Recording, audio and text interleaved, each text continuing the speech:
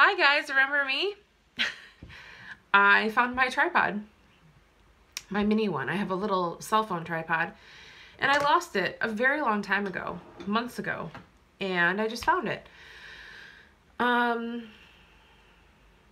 and I feel like I have a little bit of time right now. I actually have to freshen up a little because I'm going to film another video, um, one of my pregnancy updates from my other channel and I've been a lot more active there if you are wondering, but I know that that's not everybody's cup of tea to watch pregnancy updates. I, I totally understand that. And I feel guilty all the time about not having videos for this channel. Other than, of course, a couple of collaboration unboxings that I do a month, I don't make the time to make content for this channel anymore. So I had to freshen up my makeup. I actually did it this morning before I went to run some errands, but uh, it, it got do you ever have days where you didn't do anything to your face? Oh, I did do something to my face. Well, no, Mother Nature did. Uh, it started raining while I was in a parking lot, and I couldn't cover my face at all because my hands were full. So um, that is why my makeup looked atrocious. And I started to fix it, but I thought, no, you show everybody your dirty makeup brushes. It's been a really long time. and um, I'm waiting for another video right now to uh, to render so that I can upload it. And then I have to film another one as quickly as I can because I, I just hate how behind I get on things. Um, I can't wait to have a family just because I can't wait to have a family. But I can't wait to have a family and really not know what it's like to have no time. All of the time that I lack these days is stuff that I impose on myself. So it's obligations, it is, you know, it's my to-do lists. Sorry, I'm to be doing my hair and I figured I would spare you guys the view of my bare armpits. But anyway, I just feel like I really cram my time full of things. And it's not even that much stuff. It's just, I'm either really bad at time management, uh, really slow because I don't really drink caffeine anymore these days, except for the occasional like three ounce cup of coffee I'll, I'll let myself have if I'm having a day where I really am dragging and can't get through work. Um, and I measure it out, three ounces. I don't have more than that. And sometimes it doesn't even help. So then I feel guilty about doing that. But um, I just, I don't know where my time goes. And by the end of the day, I'm exhausted. And when Mike comes home from work, there are things that I could do. I could, I could keep going and keep editing. I could edit videos or um, I don't know, just get a jump start on work for the next day or start laundry, but I just want to spend time with him. We're not one of those couples that, and no offense to anybody who is, because I respect it and we have been there. But we're not the kind of couple that, you know, if we're both home, we want to be in separate rooms doing separate things. We want to be hanging out together. Even if we're not really talking, we just like to be in the same room together. And um, he really kind of helped bring that out in me because I used to be the kind of person who would just feel like, well, there's stuff that I should be doing, and if we're not going to be talking or anything, why does it matter if I'm in the room? You go ahead and watch TV or play your video game, and I'll just do whatever. And um, eventually, I learned that there's so much more to it than that. We're kind of in a strange TV slump right now because nothing that we really watch. Everything we watch just ended, kind of. Um, we're big Game of Thrones fans, so there's that. We're not gonna have that for a while. And what else do we do we like that isn't around? There's a lot of stuff that we've finished, um, like series that we've watched together. And there's a lot of stuff we don't like. We're not reality TV people. We don't watch like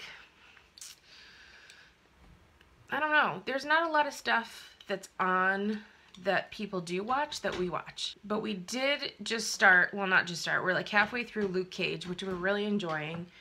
And um what's the what's the lead actor's name? Is it Mike Colter? That is a, that is a handsome man. Oh my goodness. Um he was just like made to play a superhero. And honestly, we were we were watching Mr. Robot if you have heard of Mr. Robot, but you thought just the overall synopsis was like I have no interest in that, you're wrong. It is so good. We're actually in this strange depressive lull right now because nothing is as good or intense as Mr. Robot was. Um, and there was just, there were just so many different layers and twists and it just really made you think. I don't know, we enjoyed that so much. I was even listening to podcasts on fan theories on things and reading subreddits and just really going down a rabbit hole of of things with that show because it was crazy. It was so good. But we're caught up now. So we're trying to find other things in the meantime. And we're just trying to enjoy watching TV and movies together as much as we can because we know we won't really be doing that much. At least not for a while. At least not till we get into a routine. Um, and even then, it's going to take us a lot longer to finish things. I don't know. I don't care about that so much, but we're enjoying it now. So what else is going on? What are you guys up to? What do you guys have going on? What are you guys watching? I'm curious. We are preparing our home very slowly um, for our little girl to join us and her nursery is coming together and I don't know, I just, every every step we take I feel like it looks good but it needs this or you know once this is done it'll start feeling real. And we just put the crib in there and the dresser the dresser arrived partially broken though so that's going to take a little bit before it looks complete but just seeing the crib in there even without a mattress in it yet and seeing the dresser even though it's not all all the way put together there's just there's some sort of strange like familiar presence there's something about that this room it's coming together you know i envisioned it a certain way but it also feels really close to what i was picturing almost like it's a room i've been in before. It's the strangest feeling. Um, and i just get this rush of just happiness and positive emotion when i go in there. I can't wait to share it with everybody. And we really need to um, figure out a, an area rug situation for the living room because we have all hardwoods everywhere in this house. Very creaky hardwoods. So I'm working on that kind of stuff. I do have a question, especially for those of you who had girls. But, uh, you know, I know boy clothes.